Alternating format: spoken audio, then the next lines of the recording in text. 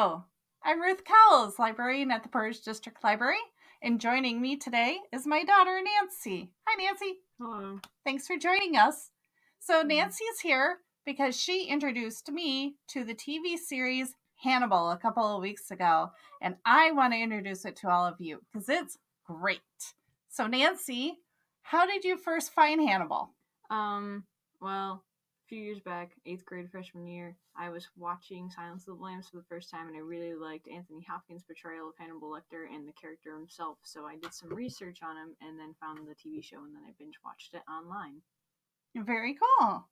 But before we get into the TV series, I want you to know that the TV series and movies were all based on a series of books written by Thomas Harris. And the first book in the series is called Red Dragon. He wrote that in 1981. The second book is Silence of the Lambs. That's the one most people know. That's the mm-hmm. one you just mentioned and won tons of awards back in the day when it came out. And that was written in 1988, but the movie came out in 91. The third book is called Hannibal, and he wrote that in 1999, so after Silence of the Lambs came out. And then the last book was written in 2006 called Hannibal Rising, but that's actually a prequel, so you see how Hannibal became Hannibal. That's a pretty cool book, right? I liked it. Nancy's read all the books. Which one did you like the best? Um, probably Silence of the Lambs. Uh, there was no mistake there. I really like Clarice as a character, and I really like Hannibal's characterization in that one. So, if you're looking to borrow any of these books, you can go ahead and get those off of our uh, Overdrive or Libby by Overdrive. And it comes in audiobooks and in ebooks that you can read.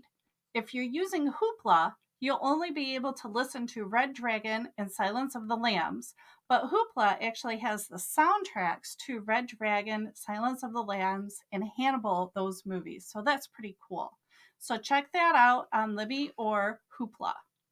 But let's get to why we're really here the TV series Hannibal. So this was released April 4th, 2013, which was seven years ago. It ran for three seasons uh, by NBC. It was rated TV 14. If you want to see the TV series, you'll have to stream it off of Amazon Prime or Netflix. So let's see who was in this television series, shall we? So the main character, Hannibal Lecter, was played by Maz Mickleton. Okay, so even though it looks like Mads Mikkelsen, we're pronouncing it, Maz Mickleton because he's Danish. and that's how you correctly pronounce his name. Although I'm sure other people have pronounced it incorrectly before. And he seems like a nice guy in interviews, so I think Mads would be okay with that. Uh, Mads Mikkelsen's um, performance, and I'm going to say this, and I think Nancy will disagree with me, but I felt that Mikkelsen's uh, Hannibal was played in a very charming and elegant way that made it, you want to sell your soul to him, as opposed to the way that I felt that um, Anthony Hopkins played him in the movie, where he was just a super creepy guy. Well, he did that on purpose to mess with Clarice. He is a gentleman. I would sell my soul to Anthony Hopkins. How dare you? and also, you said his name wrong. Oh, I did. I'm sorry. Maz, please forgive me.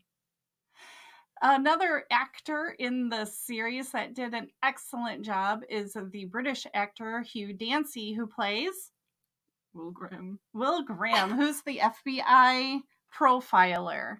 He can see the crime scene through the killer's eyes, and they do that a lot in this series. So they kind of do like this little flash left, flash right, flash left thing, and then he goes into that. And he's the tormented soul that goes to Hannibal for some extra help. Actually, Laurence Fishburne's character, Jack Crawford, was the one who was like, hey, let's use Hannibal Lecter because he's this brilliant psychiatrist. And uh, Hugh Dancy's little puppy dog eyes just lull you into thinking, oh, he needs so much help. Let's go help him. That's what Hannibal thought too, because those eyes. Oh, but I think uh, Will has more going for him than what we think at first, and you see that throughout the show. Nancy, who else did you like in the show? Well, you mentioned Jack Crawford, played by Laurence Fishburne. Uh, some of you may recognize that name from the Silence of the Lambs movie. He was uh, Clarice's superior, as if she, like as she was just a trainee, and he kind of used her to get information on the case. He does the same thing with Will in the series, and he's played brilliantly. And then there's also Dr. Alana Bloom, Alan Bloom in the Red Dragon book, who is Will's psychiatrist. She is played by Caroline Dhavernas, and she is a great character. Yes, she. Well, okay, so she's not one of my favorite characters. She's fun. Um, but she is very necessary to the story. So, uh, and um, Caroline does a very nice job. All of the actors in this TV series, and I don't say this much, but all of the actors in the TV series did an excellent job with their roles. You really feel for them. You you get sucked into their character. It was written very well. It was acted very well. Some of the others that you see on the screen are from the FBI, and then there's Freddie Lounds, who's a journalist. And um, we're going to go to the next screen and introduce some more characters to you. So on this screen, we have more of the secondary characters, but still super important to the TV series. So Nancy, why don't you pick one that you really like? Uh, I would definitely have to go with Dr. Frederick Chilton, uh, a name you may also recognize again from the movies or if you've read the books. The books. He is played by Raul Esparza in this version of the show, and he did a he watched Silence of the Lambs a lot and paid attention to his mannerisms. Uh, the guy who played Dr. Chilton, his mannerisms in the Silence of the Lambs film, and he mimics them very well. He's very fun. He did. He did a great job, and you can see how he does act just like the guy from the Silence of the Lambs. It's really it, it's really cool. Maz also watched Anthony Hopkins Mhm. and uh, studied his portrayal as well, and um, you can see that influence in his acting choices as well. Uh, another person that a lot of people might be looking at and going, "I know her," is Gillian Anderson. Uh, she plays Dr. Bedelia du Maurier and uh, she was also on the X Files as Scully, and she was also a, uh psychiatrist there. On this show, she plays a psychiatrist for Hannibal Lecter. What job? I can only imagine the story she heard. for Nisha. And then someone else you may um, recognize is Eddie Izzard, who is a comedian. He plays Abel Gideon and adds some nice comedy to a very dark TV series. There is comedy all the way through it, was like, actually, oh, if you're not saying that Hannibal's hilarious, you're wrong because he's hilarious. What's one of your favorite lines from Um, Hannibal? At the dinner party, and he's like, "Oh, keep in mind, nothing here is vegetarian." I'm just like, "Hey, I see what you're doing." and then there's Francis Dolarhyde, another big name if you've seen either the movie or read the Red Dragon book. He is the Red Dragon himself, and he is a very important character in season three. And he is played by Richard Armitage, also known as Thorin Oakenshield. Yeah, that's right. And you can hear that voice and go, wow, I've heard that voice before. And then if you've seen The Hobbit, all three of those movies, you'll understand why. And he does an excellent job with his character as well. I didn't even know it was uh, Thorin until you told me, Nancy. so now with um, the show, a lot of the uh, appeal of the show is the style of Hannibal. Um, I have to do some shout outs here. This is thanks, the style for the show is thanks to Matthew Davis, the production designer on the series, as well as producer Bryan Fuller's unusual approach to style and shooting. And one more shout out goes to Christopher Hargadon, the costume designer responsible for the show. Now, look at these suits of Hannibal. These are beautiful. Hannibal always maintains some sort of a uniform. He really likes having the three piece, two button suits. As you can see in the bottom two. On the left, he's wearing his tuxedo, and he always had uh, some bold patterns or some bold colors going for him as well. The upper right hand picture, though, is one of Nancy's of my favorite suits. Nancy, can you tell them what we call that? The murder suit. That's the murder suit. That's so he doesn't have to spend a fortune on dry cleaning or even try to explain why a lot of his suits come back with blood. You know. The shirt was white before. It's pink now. What the you know, Hannibal, he's always thinking ahead. So, another thing that uh, Hannibal does, which I love, is that he does a full Windsor knot on his tie, and you don't see those very often anymore, and that is really great.